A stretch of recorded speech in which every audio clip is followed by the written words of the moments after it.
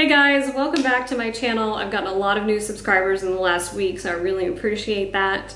I hope that you enjoyed this update on my life in Greece, and hopefully I will start traveling a little bit more soon around the Greek islands and we'll be able to show you a little more of Greece instead of just my life. Anyway, so a lot of you have probably been wondering what I've been doing. It's now September 9th and I arrived in Greece on August 27th. So since those, I don't know, like 10, 12 days, I think, I have been frantically looking for an apartment because there are two things that I needed to do in the first couple of weeks that I was here, which is one, find a place to live, and two, apply for my residence permit. Still working on two, um, but that's a whole nother story for a whole nother vlog. So Apartment hunting is super difficult on a Greek island for a variety of reasons, particularly in Naxos. I know that in Paros they have the same problem. Um, I know Santorini has had this problem for a lot longer than some of the more popular, or sorry, less popular islands than that. Um, and that problem is, is that there are plenty of apartments, but no one wants to rent for you for the entire year. And part of that reason is because of tourists. Uh, they want to rent out the apartment for June, July, and August, sometimes September. Um, and so they don't want you to live in the apartments in the summer. So a lot of the little yellow signs are that, that you see around town say September to June or September to May uh, because they want to rent out to tourists for July and August. Usually July and August, July and August are the most popular months that they want you out because those are when all the European tourists are on their holidays because most schools don't start in Europe until September. So that's part of the reason. The other reason is Airbnb. Greeks have discovered Airbnb. Um, and not in the sense that, like, oh, you know, um, here's an extra room in my house and I'll rent it out. No, no, no, no. They've just kicked out tenants um, and asked them to um, get out. Not entirely, not not like, oh, get out for July and August, but just get out because they don't want to have people moving in and out all the time. Um, I do have friends here that own an Airbnb, but it wasn't anything before. It was literally like a rundown ruin that they have like built up and can, you know, made into three little studios that like, to be on one of them, you wouldn't want to live in all the year. It's purely like a vacation. It's tiny. Like I've been living in it myself.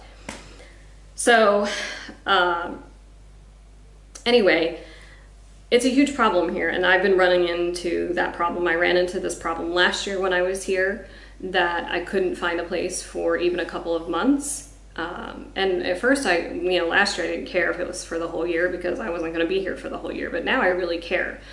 Not because I necessarily want to be here in July and August, because July and August here are super packed, but I don't want to move all my stuff out.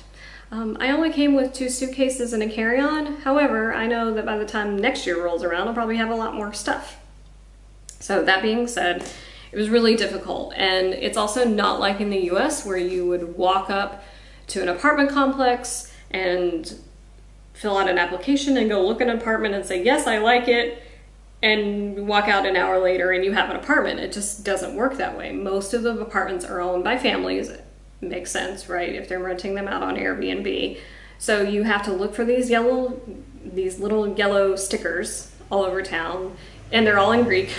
so I've gotten really good at reading Greek um, that say for rent, basically. Um, but they all say from September to June. And very rarely do they ever say for the whole year. Um, so yeah, I saw one apartment for the whole year that didn't have heating and air conditioning. I don't know about y'all, but on a Greek island, I need air conditioning. And in the winter, it gets cold here and I need heat. Of course, people are like, no, you don't, you'll be fine. And I'm like, no, no, no, no. I could probably learn to live without air conditioning, but I cannot live without heat. So anyway, um, I finally found a place through a real estate agent, which is a little bit unusual, but I think the reason that I found it through them is because they actually own the apartment because it's in like their family house. Like I'm on the ground floor of their family home, uh, which is actually really good because I hope that means that they will take good care of me in the apartment because, you know, whatever happens in my apartment happens in their house basically. So I'm gonna take you on a little tour. Please keep in mind, I literally just got here like four hours ago. I've started to unpack. but it is not decorated. It is furnished. A lot of, most of the Greek island apartments that I've seen have been furnished. Some of them a little more sparsely than others. Um, this one's actually pretty full of furniture, so um, I won't need to buy any furniture per se. I might need to buy like lamps, but I need to decorate. Like there's nothing on the walls, so. Okay, so this is the front door. I should say the only door. um, and outside here is a little um, patio sitting area. Um, I'm going to put some plants out there and also put a table and chairs eventually because I really want to sit out there and work. So right when you walk in the front door is the kitchen and the dining area. Not my favorite thing to walk into, but it does separate the rest of the apartment from the kitchen, which I appreciate not looking at the kitchen. It's pretty small, but I have dealt with worse. And at least the oven is separated from the little thing. Last year, mine all sat on the counter, and that was kind of hard for my short self to use. So, little dining table with two chairs. I might have to get a couple more. The smallest closet I've possibly ever encountered, and I didn't bring a lot, so it will fit. Um, I'm gonna have to put my winter clothes in my suitcase, um, but that's fine. So this is the bedroom slash living room. so it's actually two single beds um, that I have pushed together and hopefully we'll find something to put um, here between the two. Um, I may actually go, there's a mattress place that actually makes mattresses down the street. So I may actually have them see if they can make me something because I'd really rather not sleep on a twin bed for the next year. Uh, but it is nice for guests because then when guests come, I can just separate them and they can sleep in their own bed. Um, here is a couch still have some luggage on it that I'm working on unpacking. Um, it doesn't fold out, which is fine because there's no place for it to fold out to, but it's pretty comfortable. And um, if my family comes, my nieces can at least stay with me because the little one can sleep on this couch. And it's pretty comfortable, actually. Um, and over here, a very giant TV screen, which I don't watch a lot of TV, so, um, but I do watch Netflix, so I'm going to see if I can hook up my laptop to that.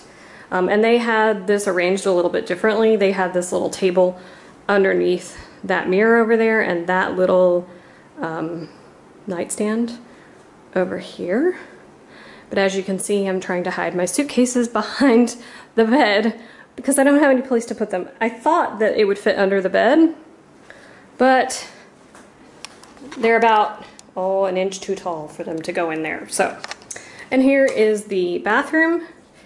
Um, this is actually a pretty good sized shower for Greece. Um, normally they're like so small you can barely turn around in them and you're constantly touching the shower curtain and that really grosses me out. So I'm really happy with that. And the most exciting thing is the washing machine. It's actually a washer dryer. Um, so it dries and washes. But this being Greece, you know it can't be perfect. So the plug, the only plug in this bathroom is over here on the other side of the doorway. So I'm gonna have to get a very long extension cord and run it underneath the toilet and around here and only plug it in when I'm using it. But you know what? I'm just so excited to have a washing machine, I really don't care. So that's it. That's my entirety of my little apartment. Um, but I'm very happy. I'm actually way happier with the apartment than I thought I was going to be because I thought I was going to have to settle for something that I was just so-so about. Um, so the high ceilings, the washing machine, the location, I'm a 10 minute walk from the beach. Um, so that is like one of the best things for me because I love walking down to the beach every day and I haven't been doing that because I've been staying on the other side of town. Uh, so this is really great for me. And hopefully once I get some more decorations, maybe I'll come back on and give you a, an apartment tour update. If you liked this video and you want to see more, I hope that you'll like, subscribe, and if you have a question about finding an apartment in Greece, leave me a comment below and I'll do my best to help you out.